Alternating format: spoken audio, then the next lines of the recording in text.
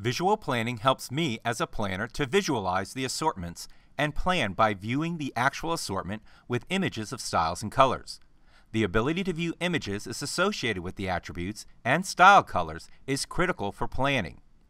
I can use the visual planning capability to create, analyze, and modify the plans as the visualization can reduce the time required for analysis.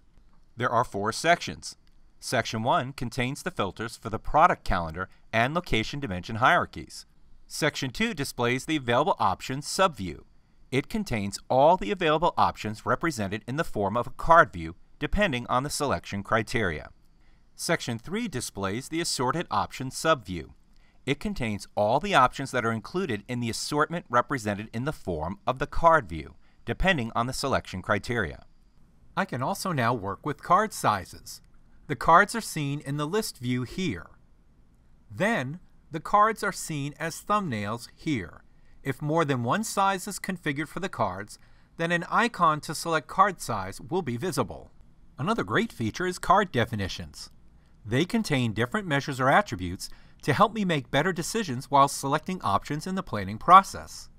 The app configurer can define more card definitions for a card view using configuration tools, so that more attributes and measures are visible to me in a structured way. If only one card definition is available, the drop-down list will not be visible. For example, in Available Options, in the Card Definition Status, I can see measures status, retail, and cost value. In the Card Definition Attributes, I can see three attributes and their values.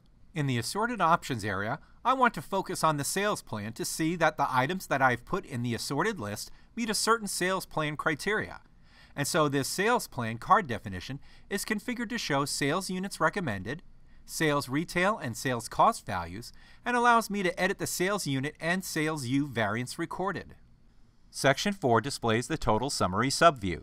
This subview is dependent on the assorted options subview. It provides an overall summary of the assorted options with respect to budgets, target receipts, target margins, and so on.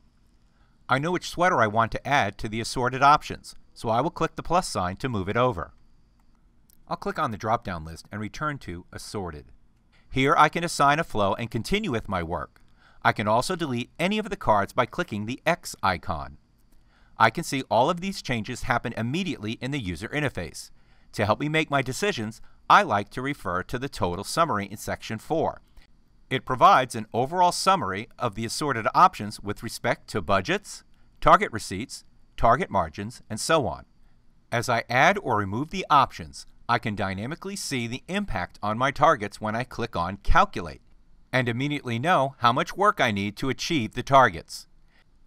At any time, I can click on the filter icons and enter text in the filter text box. I'm happy with what I saw, so I'm going to clear the filter. I can sort the tiles based on attributes by selecting the desired attribute from Sort by Pick List.